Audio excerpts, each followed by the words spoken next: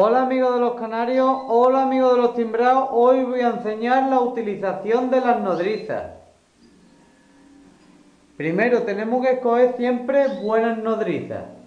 ¿Cómo lo sabremos? Eso no se sabe hasta que tengamos, hayamos criado ya con ellas durante varios años y sepamos que es buena para darle de comer, los críe con fuerza y todo. Yo tengo a esta de aquí. Diréis, ¿por qué no está? Porque tengo que ir para escribir y se me ha salido la, la pajarita. Tiene los huevos de plástico y sé que no me va a poner más. ¿Cómo utilizamos los huevos de la nodriza? Vamos a utilizar esta de nodriza y esta va a ser la madre que le va a dar los huevos. La 10. La aula 10 a la aula 32. Primero, yo en mi agenda en la 10 apunto todos los datos, ¿lo veis? Y pongo que se lo envió la nodriza 32. Esto es siempre para tener un buen control de cuando tengáis muchas parejas.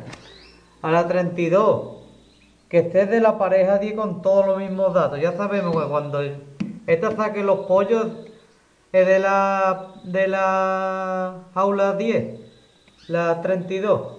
Y ella la criara y todo. Además de eso, por seguridad siempre yo tengo aquí una agenda en mi que ya lo pondré aquí en la esquina como se hace un registro de cría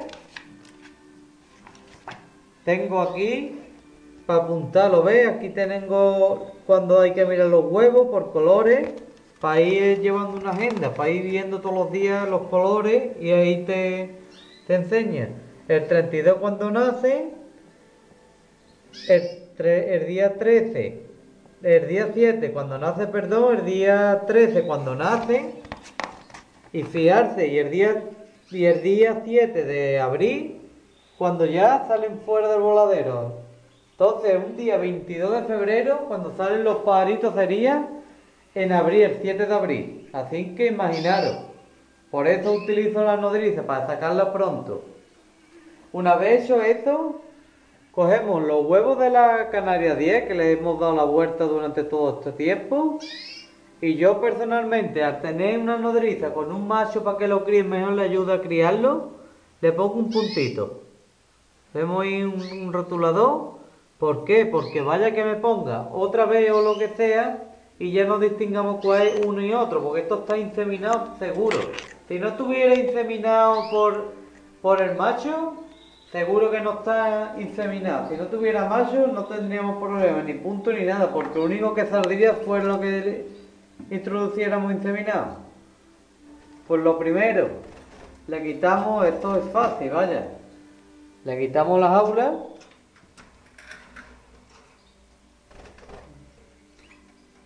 Tengo aquí el sitio ya preparado. Pongo esta de aquí que para que no se me escape. Y ahora de aquí le quito sus huevos de plástico, que estos son de plástico. Le dejamos nido medianamente bien. Y le ponemos todos los huevos que están marcaditos con un punto. ¿Vemos ahí? Ahí.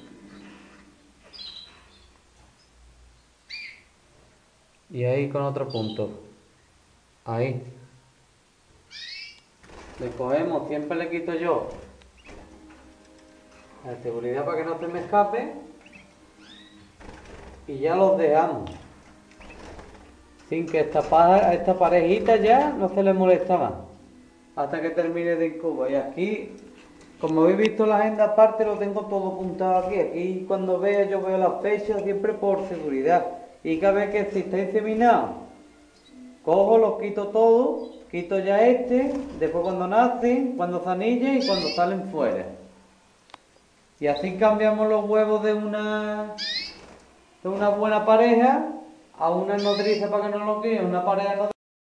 Se me olvidaba deciros que cuando ya se colocan los huevos normales aquí, con las tijeras, con las tijeras, sacamos aquí, le cortamos la presilla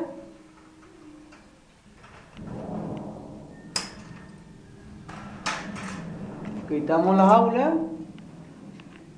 Tiene sus huevos de plástico también. Los huevos de plástico los quitamos y le quitamos y los dejamos 7 días la canaria buena. Ahora mismo sin ponerle el nido. Durante 7-9 días se puede dejar. Y ya se le pone otra vez nido que lo que vamos a intentar es para que nos ponga otra vez así tengamos los pisones de esta más la de esta, todos juntos, ¿vale? Pues está otro amigo de los canarios, está otro amigo de los timbrados.